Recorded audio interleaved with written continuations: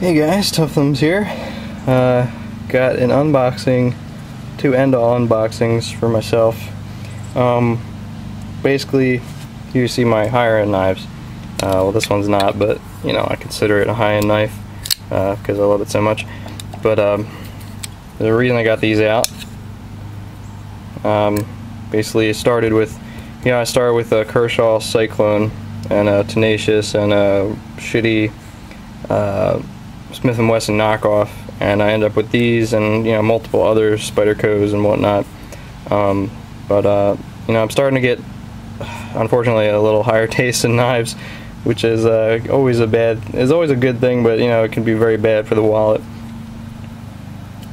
Luckily you know sorry I'm smoking a cigarette because I need to right now because it's uh yeah this unboxing is you know I, I got tissues here just in case I cry. But um basically my, you know, luckily with the my business that I'm running, you know, I don't have a shit ton of money, you know what I mean? Like, I mean, I make good money doing this, but not enough to just go out and buy, like, just one of these flat out. I haven't paid for any of these. I, you know, I got this one with a really good trade. I got this one with a really good trade plus some work. Got this one for, for some work, and I got this one for some work. And so luckily, you know, I haven't had to spend a whole bunch to get these things, which is kind of my goal in the beginning, but you know, I have to save money too for supplies and whatnot.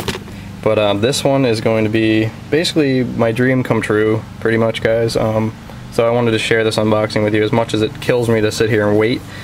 Um, you know, I gotta do it, so I'll take this Strider, my newest acquisition, and uh, so you get the priority box.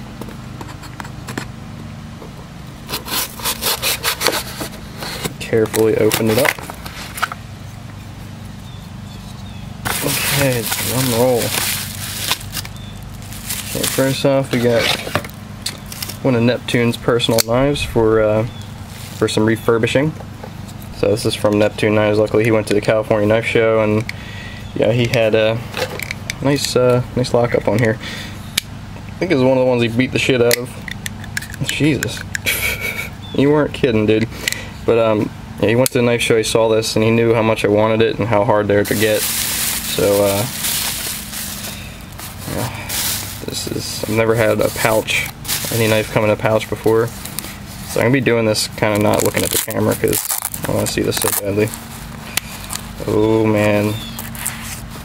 What the fuck? Oh my god.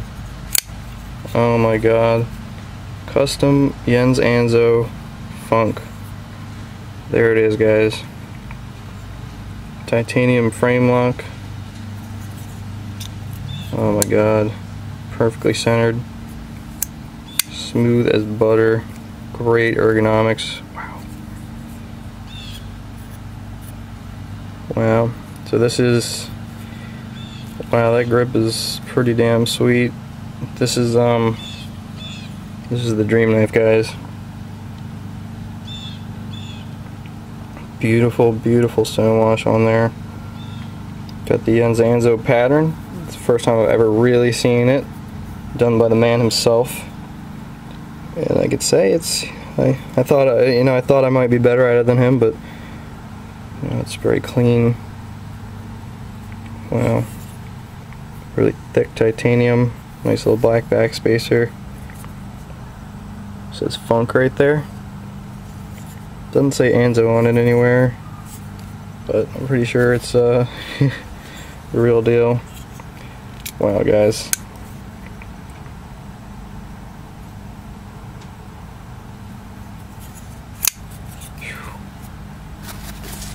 gonna wipe tear away real quick. I'm just kidding. wow, that's that is Jesus speechless, guys. This is just freaking smooth, rock solid, as I would expect. This gorgeous, swedgy like thing here.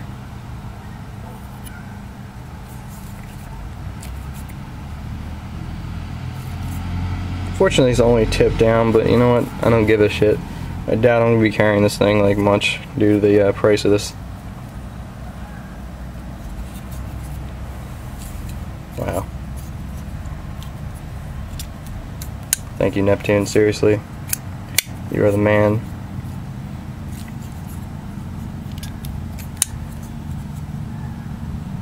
Kind of reminds me of the Zulu a little bit, but definitely a lot cooler than a Zulu for sure. There's a wacky blade shape.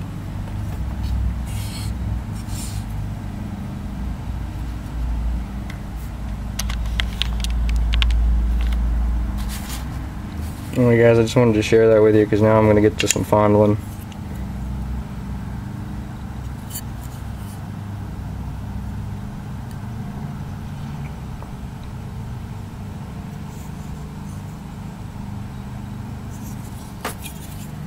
Yeah, I feel like Orimoto right now. So smooth. Perfect lockup.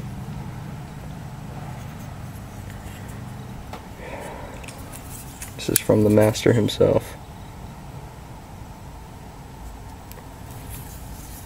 Anyway guys, thanks for watching. I'll have some pimp videos later. That is if I don't just sit in the corner and hug this thing. Alright guys, have a good one. Peace.